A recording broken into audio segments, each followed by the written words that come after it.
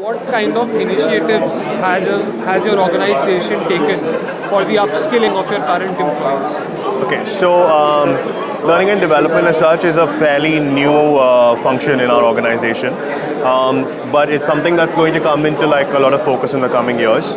Uh, basically, um, as of now, we are focusing on immediate business impact, um, which is basically um, tackling some of the issues that we face um, when it comes to service quality, right? So people who book an OYO today, um, are they able to get like a level of service which is good enough that they'll come back, right? That, that's that's something that we're dealing with right now, um, and. Uh, as we increase in size as an organization um, and with the speed that we're growing at also it's becoming very hard to train retain right? Train and retain.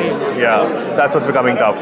Because we train them, they get a better offer, and then, they, and then, and then they're gone. So, so how do you retain them? What tricks um, do you have in your back currently? So we have several uh, rewards and recognition programs. We um, we're trying to build it into our culture, where uh, you know we have like one of our OYO core tenets is uh, access everyone, support everyone, right? So what we do is like. Um, they can they can come up to any of the seniors and they can talk, right?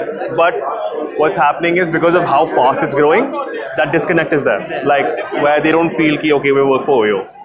They feel ki like you know हम ये एक property संभाल रहे हैं right so our goal is to make our culture scalable yeah that can happen through training that can happen through values because like culture it's something you do right? It's not it's not something that's learned.